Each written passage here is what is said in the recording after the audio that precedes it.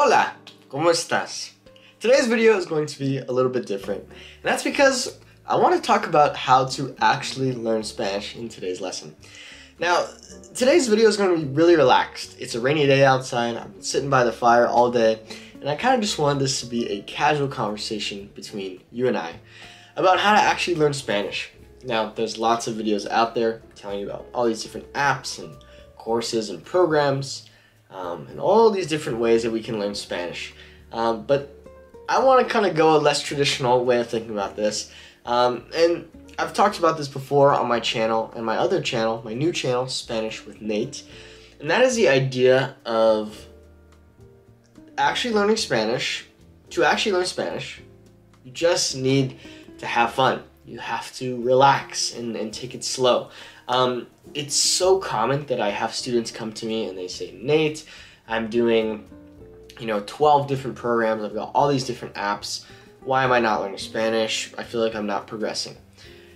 The reality is, when we get so caught up in all these different methods, all of these different strategies and tips and secrets and tactics, we just end up getting kind of overwhelmed and we spread ourselves too thin. Now, I'd like you to understand that when I first started learning Spanish seven years ago, I didn't even really have this goal of becoming a fluent Spanish speaker. It was simply something that I enjoyed, and I figured, well, if I have to take four years of this in high school, I might as well actually try, because you know I'm going to be here for four years. And so I just want to remind you that hey, learning Spanish is supposed to be fun. It's a process. Go slow, okay? I feel like so often I see online in the language learning space that a lot of times it becomes this big competition. Like you need to be learning this fast or oh, you need to be using this software or what have you. And a big thing behind kind of my methodology and my thought process is you need to before you jump into any grammar lessons or whatever, you need to kind of have this mindset of, hey, I'm just here to have fun and to, you know, achieve the goal of connecting with other people, right? You know, because when we want to learn another language, maybe we want to learn it to go traveling or for business. But at the end of the day, language allows us to connect with other humans on a deeper level. Okay, so don't forget that because at the end of the day, if you're just stressing out about oh, I need to learn Spanish in in two two weeks, and I need to, you know, learn super fast, whatever. You know, you're just gonna stress yourself out, and you're just gonna burn yourself out. Okay, so just take it slow, relax, have fun. Okay, because that is how you actually learn Spanish. Now.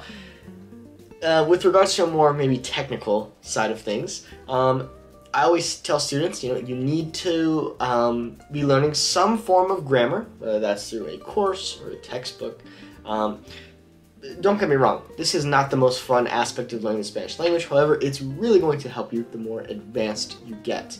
Okay, now I will say, if you know you're not interested in grammar um, and you just kind of want to wing it and go for it, um, you can do that with less structure just by immersing yourself in the language and kind of learning as you go. I know there's plenty of people who do this and who have done this. Um, of course, I learned in a tr- more traditional method because I learned in the classroom. Um, but I think by having a good grammatical foundation, um, you can really um, save yourself a lot of time in the future. Um, now, back on the subject of having fun and just keeping it relaxed, don't overwhelm yourself with too many apps. Try to keep it to two to three max. Um, find some grammar structure, like I said, course or textbook, and really immerse yourself, make Spanish a part of your everyday life through, as you hear me say a lot, through music, my favorite, movies, shows, podcasts, other human beings. You could put post it notes all around your house, labeling things. There's a whole lot of things you can do and you can get creative, okay? But it's important to integrate it into your life. Um, it's funny because I've seriously been talking to myself in Spanish since I first started learning Spanish. No, I'm not crazy, maybe just a little bit.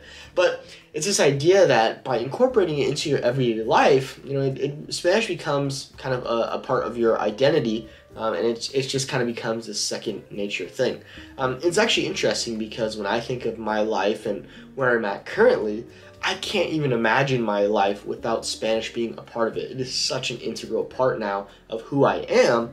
Um, and you want to do the same. Um, obviously, you don't have to do it on the scale that I'm at, but at a much you know, you know, smaller scale of just having Spanish be a part of your everyday life. Okay, so that's what I would say is just remember if you want to actually learn Spanish, relax, have fun, make it enjoyable, you know, get some grammar in there, speak with people as much as possible, listen as much as possible. You know, imagine you're like a baby, right? You, you know, let's say you're instead of you being born in Tennessee or wherever the heck you were born, now you're born in Mexico and you're a little little baby. And so how do children learn languages, right? They're immersed in that environment. They're constantly hearing it, right? We don't speak our language for a few years, first few years of our life, right? So a lot of it's going to be that audio input. Then eventually just, you know, trying to put things into words, trying to form sentences, making lots of mistakes. Um, but along the way just having a good time okay? That's that's kind of my biggest piece of advice. Well i know this wasn't a super traditional video but i thought you know i'm always making these silly omegle videos and, and surprising people with my spanish and while it is fun i also want to remind you that it took me a long time to get here so be patient relax enjoy the journey and remember i always tell students this consistency not intensity creates your success okay? Consistency not intensity creates your success. Don't burn yourself out don't burn yourself out. Relax, have fun, and um, yeah, that's how you actually learn Spanish.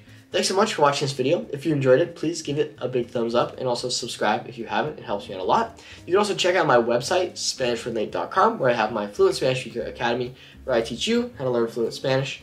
And uh, also, I have my um, playlist of music in Spanish that you can check out. I'll try to put a link to that in the video description, or you can just look me up on Spotify. You just look up Nate's Adventures. You'll find me on there.